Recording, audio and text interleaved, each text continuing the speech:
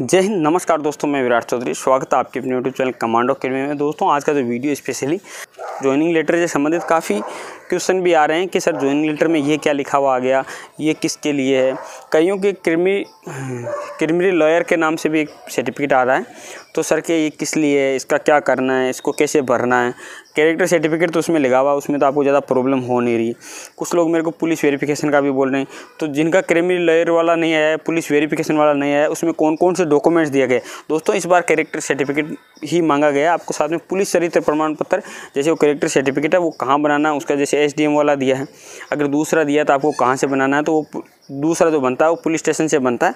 और इस बार जो ज्वाइनिंग लेटर है, कईयों के, जैसे वो क्रिमिनल लायर वाला कईयों को नहीं आया, कुछ के आया है, सबके अलग अलग है। लेकिन बेसिकली जो इसमें क्या क्या जो ज्वाइनिंग लेटर में पॉइंट्स है, वो मैं आपको एक बार अच्छे से समझा देता हूँ ताकि आप कोई गलती ना करो। इसलिए वीडियो को आप अच्छे से देख लीजिए ताकि आपको फिर आगे जाके समस्या ना हो। कुछ ऐसी बातें जो आपको शायद नहीं पता है इसीलिए आप बार बार मेरे को मैसेज करते रहते हैं। और इसीलिए मैं एक बार फुल डिटेल पे इस ज्वाइनिंग लेटर की फुल डिटेल के ऊपर वीडियो बना रहा हूँ। तो आप अच्छे से देख लीजिए ताकि आपको कोई भी परेशानी नहीं हो। दोस्तों, इसमें जो पहला सेट पहला जो पॉइंट लिखा हुआ रहता है, वो रहता है आपका जन्म प्रमाण पत्र। अगर आपने नहीं बना रखा तो बना लीजिए, जन्म प्रमाण पत्र बन जाएगा। अब यहाँ पर एक क्वेश्चन और आता है कि, सर, हमारे पास में जन्म प्रमाण पत्र है ही नहीं। तो ये टेंथ क्लास की मार्कशीट से भी प्रूव होता है, लेकिन बन जाएगा जन्म प्रमाण पत्र। ऐसी बात नहीं है कि नहीं बनता। आप तहसील से बना सकते हो जन्म प्रमाण पत्र तो बना लेना, इसमें कोई बड़ी बात नहीं है। ठीक है? जो फ़ोटो चाहिए वो तो आप सभी को पता है। इसके अलावा जो जाति प्रमाण पत्र, मूल निवास की और जाति प्रमाण पत्र की, उसमें एक वैधता दी हुई है। जाति प्रमाण पत्र के थ्री ईयर मूल निवास की वैधता दी गई है। अगर वो थ्री ईयर आपकी कंप्लीट हो गई है तो आप नया बना लीजिए दोस्तों। वो थ्री ईयर से अगर ज़्यादा पुराना है तो आपको फिर परेशानी। अब मेरे को एक बात बार बार बोलते हैं सर, हम नया बना ले या पुराना जाति प्रमाण पत्र की तो आपको वैधता पता है।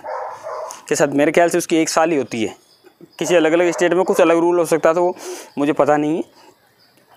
आपको सेंटर का जाति प्रमाण पत्र चाहिए और वो बना लेना। कुछ लोग मेरे को ये भी बोलते हैं कि, सर, हम है तो ओबीसी से, हमारा सिलेक्शन जनरल से हुआ है तो क्या हमको जाति प्रमाण पत्र लेके जाना बिल्कुल लेके जाना है। वो सिलेक्शन लिस्ट है, उससे कोई डिपेंड नहीं करता। आपको जाति प्रमाण पत्र तो इसलिए लगाना है कि आप कौन सी जाति में आते हो।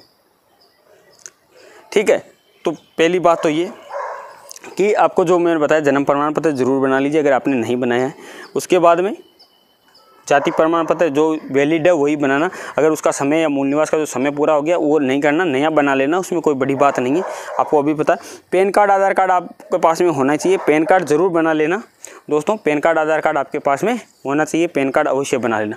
शादी का प्रमाण पत्र, जैसे अगर किसी ने शादी कर रखी है तो विवाहित प्रमाण पत्र और नहीं कर रखी, वो अविवाहित प्रमाण पत्र बना लीजिए। उसमें शायद लिखा हुआ है, अविवाहित या विवाहित शादी का आपका प्रमाण पत्र बनता है, शायद अविवाहित का प्रमाण पत्र भी बनता है, वो सरपंच से कुछ ऐसा बनता है। ठीक है? तो वो ज़रूर सर्टिफिकेट आप बना लें, जिसके ज्वाइनिंग लेटर में जो लिखा हुआ है, वो पॉइंट आप ज़रूर फिलअप कर ले। उसके बाद में जो टेंथ आपकी फ़ोटो है, वो तो होगी उसमें आपके माता पिता के कहीं पे भी कोई डिटेल नहीं मांगी है, इसलिए कुछ लोग मेरे को बार बार जो मैसेज करते हैं कि, सर, मेरे फादर के नाम में ये मिस्टेक है मदर के नाम में ये मिस्टेक है। ये काफ़ी मेरे पास में क्वेश्चन आते हैं इस प्रकार से? लेकिन अगर उन, मांगी नहीं गई है कोई डिटेल तो आपको टेंशन लेने की ज़रूरत नहीं कोई छोटा सा उनका प्रूफ कुछ नहीं लगता, लेकिन आप जो फ़ोटो कॉपी है, ज़रूर ले लेना उनकी, क्योंकि उनकी डेट ऑफ़ बर्थ लिखी जाती है। उनका मतलब जन्म कब हुआ था, उनकी एज कितनी हो गई तो उसके नॉलेज के लिए आपके पास में होने चाहिए। ठीक है? उस, वहाँ पर नहीं लिखा हुआ है कि कोई भी आप प्रमाण पत्र आप मतलब उनका लेके जाओ, लेकिन मैं जब बता रहा हूँ ना कि एज एज के लिए आपको आवश्यकता ज़रूर पड़ेगी तो उसके लिए आप ज़रूर ले लें। इसके अलावा रिसेंट की फ़ोटो है वो तो आप सभी को पता है कि रिसेंट की फ़ोटो तो आपको लेना ही लेना है। तो साथ ही दोस्तों, जब आप मतलब जो अपने जो मूल दस्तावेज़ वहाँ पर दिए थे ज्वाइनिंग इसके डॉक्यूमेंट्स वेरिफिकेशन के समय तो उनमें से अगर कोई डॉक्यूमेंट्स आपने एक्स्ट्रा दिया या कम दिया तो वो ज़रूर साथ में ले लेना, क्योंकि वो आपको ज़रूर वहाँ चाहिएगा। कोई अगर आपने डॉक्यूमेंट्स दिया, अगर मान लो जाति प्रमाण पत्र का या कोई भी डॉक्यूमेंट्स तो वो ज़रूर साथ में आप ले लेना ताकि आपको ये सुविधा बनी रहेगी कि वहाँ पर आपको कन्फ्यूज़ नहीं होना पड़ेगा, मेरे को कौन सा डॉक्यूमेंट लगाना है, वहाँ मैंने कौन सा लगाया था। वैसे उससे कोई मतलब नहीं रह जाता, वहाँ पर आपने कौन सा लगाया, उससे कोई मतलब नहीं यहाँ से आपकी एक नई जर्नी शुरू होती है। यहाँ पर जो डॉक्यूमेंट्स जो चीज़ें लगाते हो, आपको सही से लगानी है, क्योंकि यही आपकी सर्विस में चीज़ें फिल होगी। पुराने वाली को भूल जाना कि पुराने, मैंने कौन सा लगाया था, अब वो पुराने वाला मूल निवास लगाया था, अब मैं नया वाला मूल निवास लगा सकता हूँ, नहीं लगा सकता, बिल्कुल लगा देना, उसमें कोई प्रॉब्लम नहीं है। ठीक है? तो इसके लिए आपको चिंतित नहीं होना बार बार ये मेरे को भी मैसेज करते हो कि, सर, अब नया बनाएँगे तो क्या नया वाला लगा देंगे? बिल्कुल नया वाला लगा सकते हो, उसमें कोई प्रॉब्लम नहीं, आप बिल्कुल वो पुराना उस समय वैलिड था, अब वो वैलिड नहीं तो आप नया बना के नया लगा सकते हो, उसमें कोई आपको परेशान होने वाली बात नहीं है। पासपोर्ट साइज़ फ़ोटो ज़रूर ले लेना। माता पिता की जैसे मैंने बोला आईडी लेना और आपके छोटे भाई बंधु हो, उनकी भी आईडी की फ़ोटो कॉपी ले लेना। अविवाहित प्रमाण पत्र ये आपके पंचायत से बन जाएगा। जो विवाहित है, उनके पास में आपका मैरिज सर्टिफिकेट है ही। और जो अविवाहित है, वो आपके पंचायत से बन जाएगा। सरपंच उसमें करते हैं, सील लगा के कि हाँ भाई, मुझे पता की है। अभी रंडवा है, इसकी अभी शादी नहीं हुई है तो वो आप ज़रूर बना लेना, ताकि आपको भविष्य में काम में आएगी। और इसके अलावा ये डॉक्यूमेंट्स लेने के अलावा आपको पाँच हज़ार रुपये जैसे उसमें लिखा हुआ पाँच हज़ार रुपये तो मैं आपको सजेस्ट करूँगा कि आप आठ नौ हज़ार रुपये ले लें और अकाउंट में ले लें कैश में ना लें।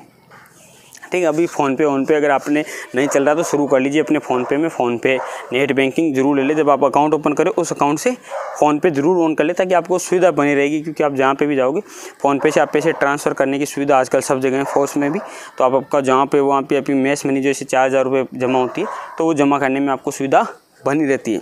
बाई हैंड केस आपका चोरी भी हो सकता है, कुछ भी हो सकता है और उसमें एक इंस्ट्रक्शन दिया हुआ साफ़ साफ़ कि कोई भी सोने वोने की वस्तु आप पहन के ना ही ये नहीं हाँ ये चीज़ आप विशेष ध्यान रखना, कोई भी महँगी वस्तु अगर आपके पास में, जैसे सोने का ब्रासलेट है या गले में कोई भी चेन वेन है तो वो ना पहन के आए, क्योंकि आप शुरुआत में आपके सिटिंग की जो अरेंजमेंट रहता है, आपका जो अरेंजमेंट रहता है, वो थोड़ा सा डगमया मतलब थोड़ा सा हल्का सुव्यवस्थित नहीं रहता। है एक साथ मतलब आपको पता है, तीन सौ, चार सौ, पाँच सौ बंदों की एक साथ ज्वाइनिंग होती है, एक ही ग्रुप सेंटर में तो वहाँ पर बहुत भीड़ भड़ाका रहता है। पता नहीं चलता कि कौन किधर हो जाए, कुछ गुम हो जाए। इसलिए ऐसी कोई वस्तु आप पहन के नहीं आना। चाहे लड़के हो, चाहे लड़कियाँ ठीक है? तो हल्का फुल्का आपको जो नॉर्मल है, वो पहन के आ जाइए और आपके अब जो बेसिक जो सामान आपको साथ में लाना है, ये ज्वाइनिंग लेटर का आपको पता चल गया, ठीक है? इसमें जो जो आपको काम करना है कैरेक्टर सर्टिफिकेट चरित्र, वो उसके साथ में अटैच किया हुआ उसमें आपको राजपथ अधिकारी द्वारा साइन करवाने ही। ठीक है? उसके अलावा जो आपको मूल निवास मूल निवास है, वो तो आपको सभी को पता है कि ओरिजिनल लेके जाना टेंथ क्लास की मार्कशीट भी आपको ओरिजिनल लेके जानी है। जो डॉक्यूमेंट्स है, वो सभी ओरिजिनल लेके जाने हैं। ट्वेल्थ क्लास की मार्कशीट का मेरे को बोलते कि लगाए कि ना लगाए? ट्वेल्थ के लगा सकते हो, लेकिन उससे ऊपर आपको लगाने की ज़रूरत नहीं है। अगर आपने ग्रेजुएशन की है तो लगाने की ज़रूरत नहीं है उसमें, ताकि आपको आगे काम में आएगी काम में आएगी। जैसे अगर आप कोई बाहर एग्ज़ाम दो, एक क्वेश्चन और बनता है। मेरे को अधिकतर लोग जो बोल, पूछते हैं कि, सर ट्रेनिंग में हमको छुट्टी मिलेगी या हमको और एग्ज़ामों की तैयारी करनी है तो उसके लिए टाइम मिलेगा क्या? इसके बारे में पहले बता चुका हूँ, लेकिन फिर भी बता दूँ कि ट्रेनिंग में आपको छुट्टी मिल जाती है। लेकिन ये नहीं कि आपको बार बार एग्ज़ाम के लिए छुट्टी मिलेगी। पूरी ट्रेनिंग में, बारह महीनों की पूरी ट्रेनिंग में केवल सात दिन रिज़र्व होते हैं, जो इमरजेंसी लीव के लिए होते हैं।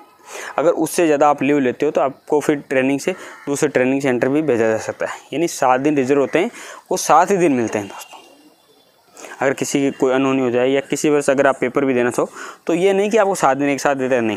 दो तीन दिन की मिल सकती है। किसी विशेष एग्ज़ाम के लिए तो आप फॉर्म ज़रूर अप्लाई कर देना तो उसके लिए मिल सकती है। लेकिन यह नहीं कि आपको बार बार बस ट्रेनिंग में आप जाते रहो, छुट्टी देते रहो। ऐसा नहीं होगा। ठीक है? लेकिन आप फॉरम में अप्लाई ज़रूर कर लेना आपका जहाँ ट्रेनिंग सेंटर हो। अगर ऐसी कोई सुविधा हो कि वहीं आपका एग्ज़ाम का सेंटर हो, तब हो सकता है काम। लेकिन आप बाहर मिलने, आपको एग्ज़ाम देने का मौका मिल जाएगा। हल्का फुल्का पढ़ने का भी मौका मिल जाएगा, ये मैं बार बार बोलता हूँ। तो अपनी एजुकेशन को भी कंटिन्यू रखिए, ताकि जहाँ आप लगे हो, इससे आगे बढ़ सको जीवन में। तो दोस्तों, ये ये जो चीज़ें हैं, इनको अच्छे से सुव्यवस्थित कर लेना, जो उसमें लिखा हुआ और कुछ समझ में नहीं आई तो मैसेज कर देना इंस्टाग्राम पे।